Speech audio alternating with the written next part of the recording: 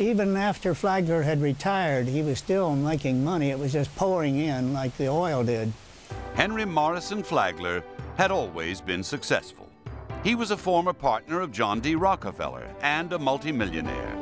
Now retired at 75, he was bored. Florida historian Irving Eyster. He liked Florida and he thought there was a wonderful opportunity, so he built a hotel. Then he bought another hotel, and then he decided, well, you had to trans have transportation to get to the hotels. So he bought out the railroad. Now Flagler had one last goal, to extend his railroad from the mainland to the far end of the Florida Keys. But the task was huge. The Keys were scattered over nearly 140 miles of tropical swamplands and volatile seas. Soon, vast working villages sprang up along the route and were filled with 5,000 men as construction headed towards the coast. But almost immediately, work slowed as uncharted lakes and dense jungle frequently set the crews back by weeks at a time. Crews became dispirited, many deserted, so Flagler made regular personal visits in his paddle steamer, encouraging them onwards. Half the railroad's length would have to be built over the ocean using 42 bridges, often many miles long. Work fell behind, the cost went up, but Flagler insisted they stay on schedule, even through storm season. It was a gamble he lost. In 1906, 160 workers died when their sleeping quarters were ripped apart in a gale. With deaths becoming commonplace, American crews were increasingly unwilling to work on what was called the railroad that went to sea. To avoid strict government safety laws, Flagler employed hobos and illegal immigrants and began his seven-mile bridge, which actually had to span nine miles. Hundreds of piles were driven into the tough coral as the bridge and Flagler's dream rolled on. But each year, winds would smash miles of completed track. Yet more men would drown. Still, the message kept coming. This thing will be built. As his health failed, Flagler challenged his men to finish a year early and finally, on January 21, 1912, the last span was lowered into position. The 140 miles of railroad that everyone said couldn't be built was finished. Critics had called it Flagler's Folly. But as he made the epic first trip from Miami, the triumphant Flagler proved it was anything but. When his train pulled into Key West, thousands of jubilant well-wishers gathered to meet him. Flagler was proclaimed a hero. Stepping into the throng, he was heard to say, I can die in peace now. Just a year later, he did. Flagler's Railroad was a success. On Labor Day 1935, all this was to change. On the morning of September 2nd, meteorologists began tracking a storm moving west towards Cuba. A severe weather warning was relayed to shipping in the immediate area. Throughout the day, the storm grew, and by 11 a.m., not only had it started to change course, it had also become a hurricane. The new course was plotted heading northwest, directly for the Keys.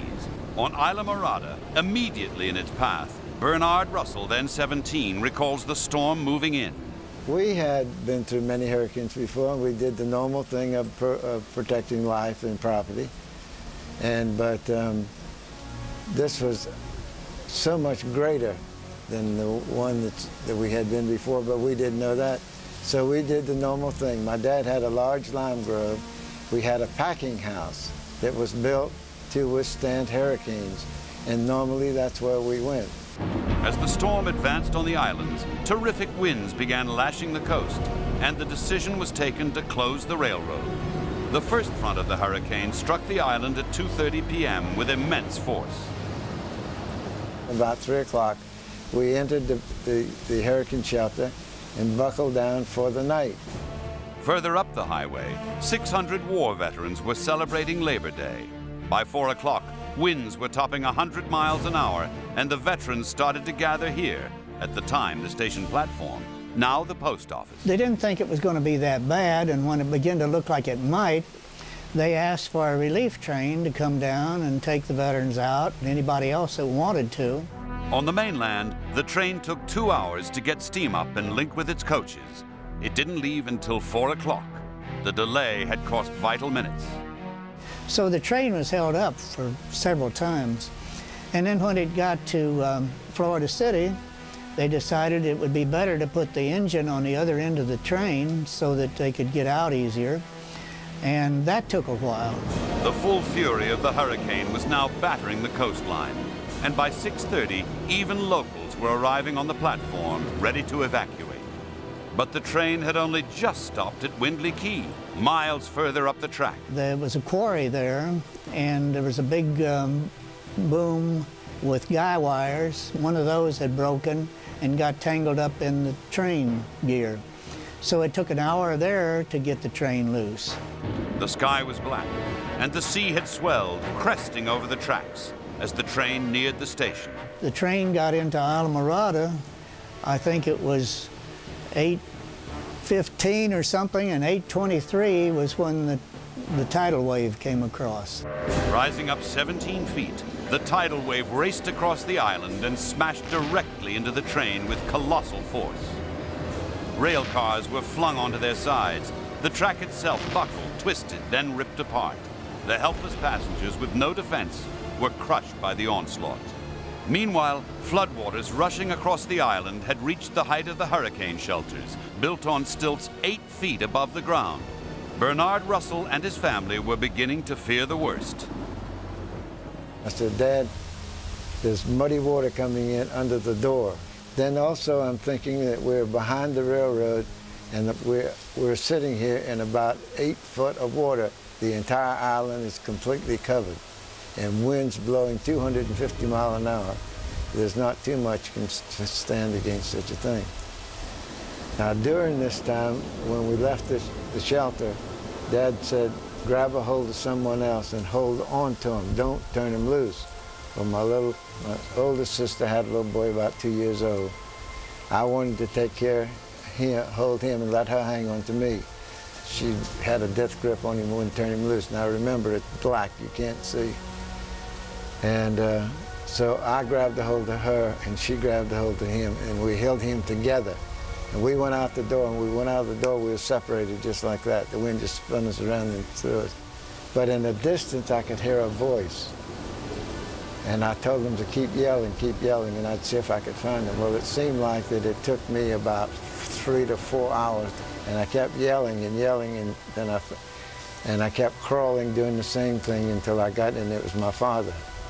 But I could see the train. It was over, but I could see it. So we decided that we were going there for protection. The train lay on its side, a short distance from the local diner, which was largely intact. Known as the Green Turtle Restaurant today, that night it became the focal point for people tracing lost relatives. Most families on the island had lost someone that night. For Bernard Russell, the tragedy was greater. Our, my family, we had nine in the building, and two of us came, three of us came out alive. Out of 63 members of his family, 52 had died that night. At first light, the survivors looked over their shattered island, all asking the same question. Why had this hurricane taken so many more lives than those in the past? Many islanders already knew the answer. Flagler's Railroad. In the rush to finish the railroad, Flagler had ordered his men to avoid wasting time building bridges. Instead, they simply filled in the sea between some islands. During the storm, with nowhere for the water to go, the sea surged as a powerful tidal wave, smashing into the helpless islanders. Over the next three days, rescue teams recovered so many bodies, the cemeteries in Miami refused to take any more. Funeral pyres burned for days, as the extreme currents around the Keys gave up yet more dead. When civilians returned, one of the first things to be built was this monument. Beneath it are the ashes of hundreds of residents and veterans. Bodies were interred here in such numbers that authorities are still uncertain exactly how many people there are. At the monument's dedication in 1937, thousands were united in grief, the dreadful result of one man's obsession. It was not only people who died that terrible night. The dream of Flagler's Railroad died with them. After it had been blamed for so much devastation, the railroad never ran again. And they warned him and told him that when they were building the railroad, that eventually that they were going to drown the people like rats. which really did happen. For the people of Islamorada, Flagler's dream had become their nightmare. His railroad that so proudly went to sea had now died at sea, taking with it the lives of over 500 people. Would you believe it?